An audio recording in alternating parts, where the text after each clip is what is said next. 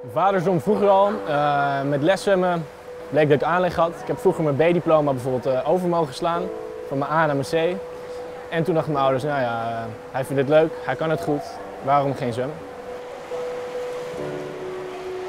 Ik train nu iets meer dan ik vroeger bij de Dolfijn heb gedaan. Dat is mijn oude zwemclub.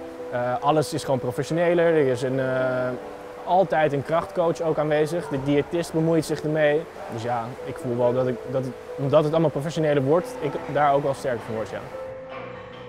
Op dit moment uh, gaat het zwemmen enorm goed. Ik behoor tot de Europese, of ja, tot de wereldtop op dit moment, op de 50 vrije slag in ieder geval. Ik hou er niet van om, om te verliezen. Ik uh, ben wel een doorzetter, vind ik zelf.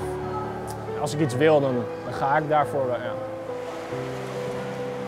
Ja, de droom is uh, nou ja, die kwalificatie afdwingen in, uh, voor 2020 in Tokio. Als je je kwalificeert in Nederland, dan heb je sowieso al een uh, reële kans op finale plaats. En ehm, ja, dat is aan zich al een droom, denk ik. En, en wie weet wat er dan gebeurt.